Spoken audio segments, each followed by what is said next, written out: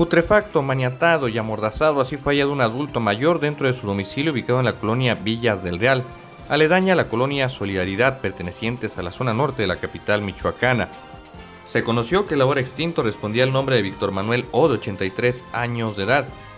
quien habitaba solitariamente el inmueble marcado con el número 147 de la calle Jerónimo Larrazaral.